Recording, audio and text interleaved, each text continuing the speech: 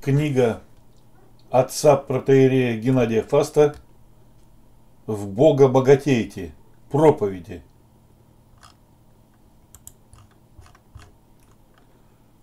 Технический редактор Байдолина, корректор Алексеев, издательство «Гранат». Индекс 121 471, город Москва, улица Рябиновая, 44. Издательство «Гранат». Телефон 499 391 4804. Электронная почта ордер собака гранат бокс ру.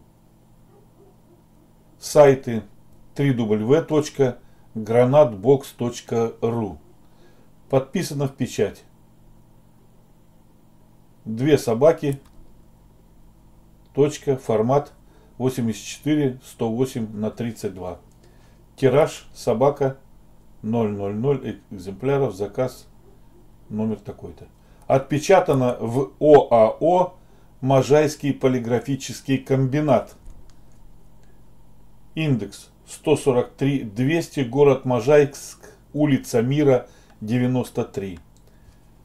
Электронные данные www.oaompk и www. русскими буквами oampk.rf телефон 495 745 84 28 еще телефон 496 38 20 685. Протеерей Геннадий Фаст. В Бога богатейте. Проповеди. Можайск. Гранат. 2020 год. Молитва – это слово, обращенное к Богу. Доклад, лекция, трактат – это слово о Боге. Проповедь – это когда говорит Бог. Он говорит и проповеднику, и слушателю проповеди. Он говорит часто даже не то, о чем вроде бы сказано в проповеди. Он сам говорит сердцу человека то, что хочет сказать он. Потому и названа апостолом Павлом проповедь священнодействием благовествования Божия. Послание апостола Павла к римлянам, 15 глава, 16 стих. Предлагаемое читателю слово относится к проповеди, приближающей к нам живого Христа, помогающей нам в Бога богатеть. В суете мирской, в котле страстей, злободневности так оскудевает, так беднеет порой душа. И уже не хочется просто собирать сокровища для себя, как это делал тот евангельский богач. Хочется в Бога богатеть. Евангелие от Луки, 12 глава, 21 стих. Ищущему этого богатства и адресована книга сибирского проповедника протеерея Геннадия Фаста. Текст протеерей Геннадий Фаст, 2020 год. Предисловие игумен Арсений Соколов, 2020 год. Оформление издательства «Гранат», 2020 год. Предисловие. Протеерей Геннадий Фаст широко известный в России и за ее пределами проповедник, богослов и пастырь. Из-под его пера вышло немало книг, посвященных толкованию Священного Писания. Новая книга тоже во многом носит истолковательный характер, но толкование библейских текстов в ней особое, проповедническое. Уже почти полвека отец Геннадий является служителем слова Деяния святых апостолов 6.4. С середины 70-х годов прошлого века проповедует без устали и в силе духа вечное и нетленное Слово Божие. В больших аудиториях и в частных беседах, на приходских библейских занятиях, на страницах сибирских газет, в теле и радиоэфире, в университетах и школах, на научных конференциях по библеистике и в тюрьмах. Под воздействием этой проповеди сотни и тысячи людей обратились и продолжают обращаться от тьмы неверия к свету веры, от суеверий и предрассудков к истине.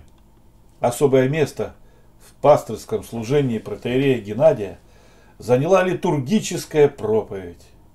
Старые прихожане Енисейска и других сибирских городов помнят те талантливые, яркие и убедительные проповеди.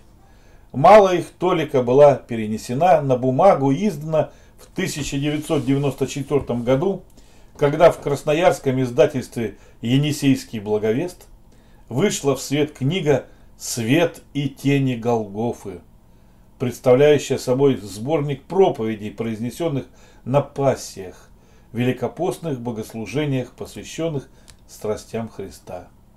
Нынешняя книга – второй после «Света и тени Голгофы» сборник литургических проповедей протерея Геннадия. Все вошедшие в него проповеди были произнесены в Абакане, где последние 10 лет живет отец Геннадий, являясь настоятелем града Абаканского Константина Еленинского храма. Следует отметить одно из стилистических отличий этих проповедей от тех, которые звучали несколько десятков лет тому назад. Ранние проповеди – это слова молодого священника, которые произносились совсем свойственным юности жаром и бескомпромиссностью. В абаканских же проповедях чувствуется больше духовности и некой отрешенности от земного, устремленности к миру горнему. Проповедь устный жанр. Письменный текст не может передать интонации проповедника, звуков его голоса, жестов, взоров его глаз. Не способен поместить читателя в то пространство, где звучащее слово обращено непосредственно к слушателю. Записанное слово никак не воспринимает реакции тех, кому оно изначально было обращено, слушателей слова. А ведь для проповедника этот живой контакт с аудиторией чрезвычайно важен. Будучи записанной, проповедь многое теряет, как теряет, например, консерватив... консервированная рыба в сравнении со свежей. И все-таки христианская церковь с самых ранних времен записывала слова своих выдающихся проповедников. Спасибо древним скорописцам. Без их трудов до нас не дошли бы те древние гамили и беседы. Сегодня роль скорописца выполняет электроника. Однако нельзя просто взять и механически перенести на бумагу то, что записано на магнитофонной пленке или в цифровом плеере. Такой текст будет труден для восприятия. С другой стороны, радикальная переработка аудиозаписей в книжный текст может превратить проповедь в богословско-нравственный трактат. А это уже другой, совсем не гомилетический жанр. Поэтому автор книги идет средним путем, избегая письменной книжности, максимально сохраняет то, что было сказано, что присуще устному жанру проповеди и прежде всего диалогичность. Проповеди отца Геннадия – это не просто наставительные речи.